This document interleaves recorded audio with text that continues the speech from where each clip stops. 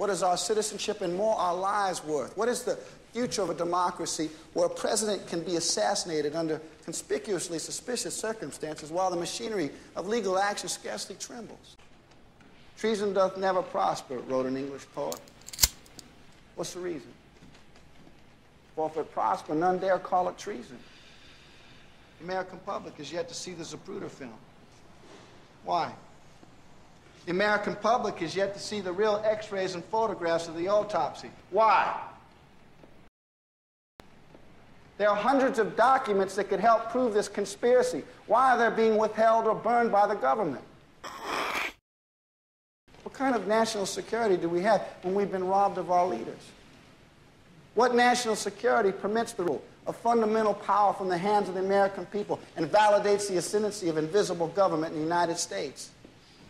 Its most direct and tragic result was the reversal of President Kennedy's commitment to withdraw from Vietnam.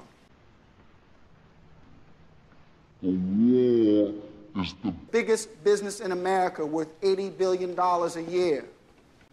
President Kennedy was murdered by a conspiracy that was planned in advance at the highest levels of our government, and it was carried out by fanatical and disciplined Cold Warriors in the Pentagon and CIA's covert operation apparatus, among them Clay Shaw here before you.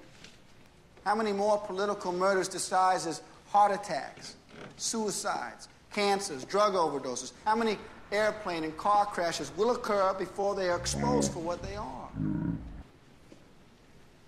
Some people say I'm crazy.